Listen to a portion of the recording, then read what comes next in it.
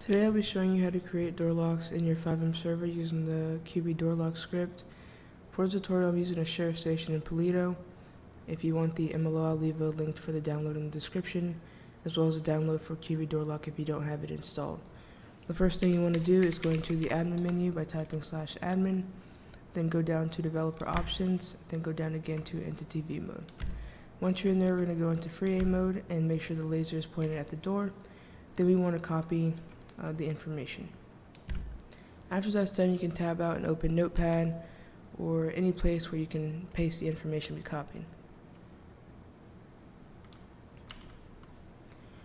Once you have it pasted, a bunch of information will show up. All we need is the model hash. So just copy that and then go back into the game.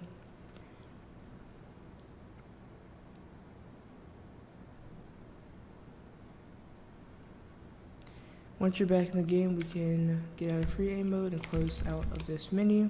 Then we're going to type slash new door. Uh, once this menu comes up, there'll be uh, things to fill out. We're going to name the door first. You can name it whatever you want as long as you can remember what it is. So we're going to do PPD office for Paleto PD office. The unique identifier is the hash we just copied, so just go ahead and paste that there. You can leave door label blank.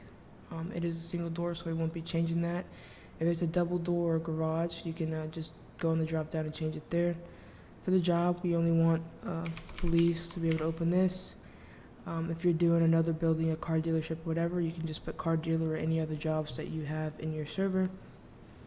Same with the gangs, we're going to be leaving it blank. Um, you can put any gang name that you have. Uh, we're leaving this blank too, but this is just a citizen ID um, for specific people you want to be able to open the door. Um, items are just items, it's basically the same. The max distance is going to be 2, and then we're going to do locked and submit. Then you can take a gun out, uh, point at the door, and then shoot.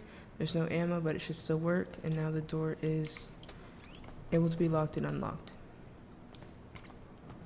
If you do mess up or you put you know a double door instead of a single door, um, all you need to do is go to your server file locations, uh, go to QB door lock,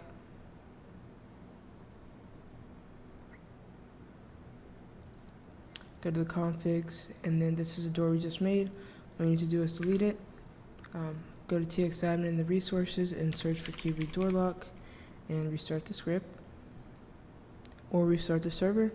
And once you do that, the door is no longer uh, registered as a lockable and unlockable door, so you can keep trying to edit the door lock and remake it if you need to.